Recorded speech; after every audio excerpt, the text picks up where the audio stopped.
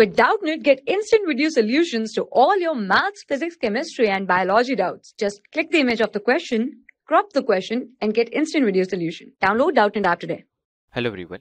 If we talk about this question, this given question is the speed of light in air is 3 into 10 raised to power 8 meter per second and the speed of light in glass is given by 2 into 10 raised to power 8 meter per second.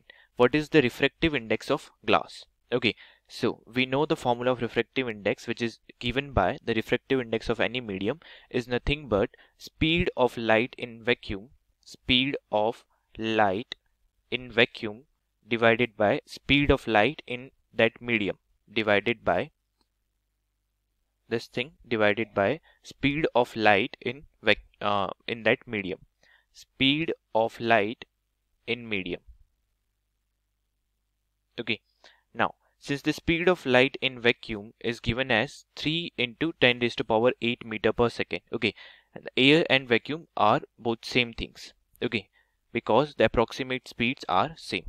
So n will be written by 3 into 10 raised to power 8 divided by speed of light in medium and in medium which is uh, whose refractive index we have to we have to find out is 2 into 10 raised to power 8 meter per second so this will be 2 into 10 raised to power 8. So this comes out to be 1.5. So refractive index of glass is 1.5.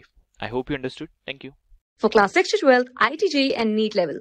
Trusted by more than 5 crore students. Download Doubtnut app today.